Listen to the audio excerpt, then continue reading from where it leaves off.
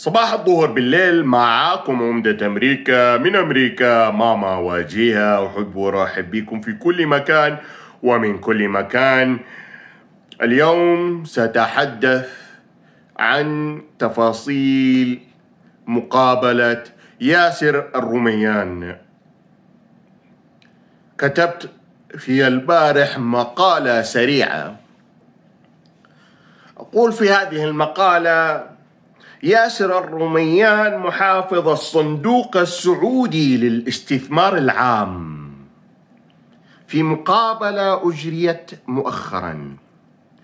إنه يمكن تجاوز عملية صندوق القرار إذا لم يوافق ولي العهد محمد بن سلمان على الأغلبية.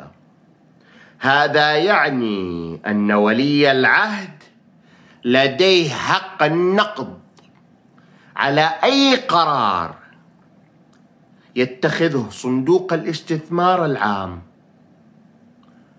وإن كان هذا من قرارات الاستشاريين والخبراء الاقتصاديين اللي جايبهم من برا.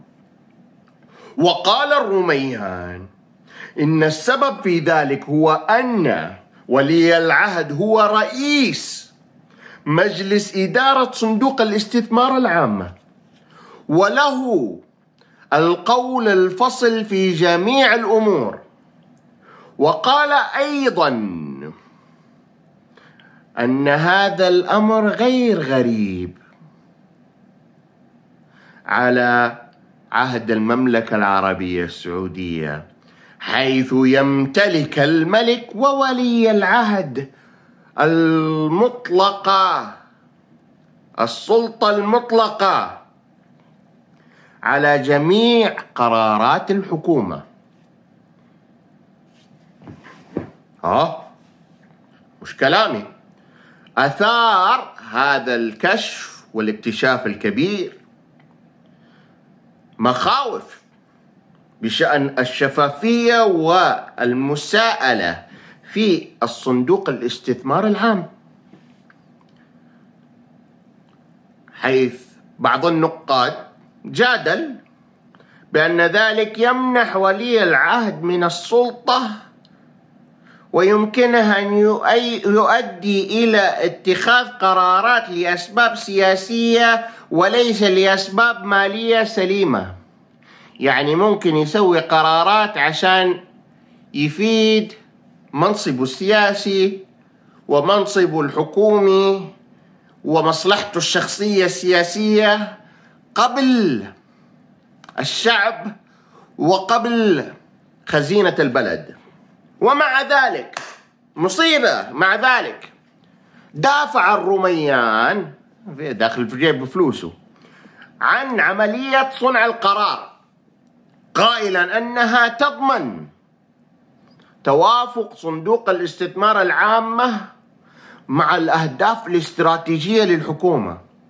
كيف أهداف استراتيجية للحكومة ستطبقها؟ صندوق الاستثمار العام بقيادة سياسية لا تريد أن تطبق هذه الأهداف. ما أعرف كيف. أحد يشرح لي؟ أتمنى التعليق. وقال أيضا أن ولي العهد هو رئيس عملية هو رئيس عملي للغاية. عفوا. بحيث إنه يحب إنه يتحكم كل حاجة بيده.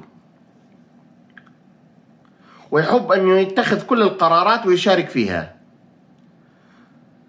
الوقت وحده هو الذي سيحدد إن كانت عملية صنع القرار اللي تقام فيها في صندوق الاستثمار العام السعودي ستحقق أهدافها أم لا؟ ولكن من الواضح أن ولي العهد السعودي يتمتع بقدرة كبيرة من السيطرة على هذا الصندوق مما قد يكون له تداعيات على عمليات الاستثمار المستقبلية. ححط لكم الفيديو أنا. المقابلة. اختصرت لكم الفيديو في دقيقة. أتمنى أنكم تشوفوا المقابلة وترجعوا لي بالتعليقات لأنه الموضوع هذا حيجنني.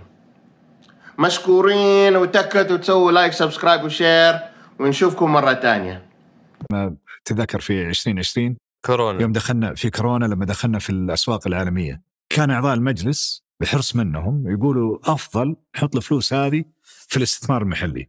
لكن سمو ولي العهد and myself we were against that position نقول إنه هذه فرصة تاريخية ان نقدر نكسب من وراها بشكل أكبر وندخل في بعض الشركات بشكل استراتيجي.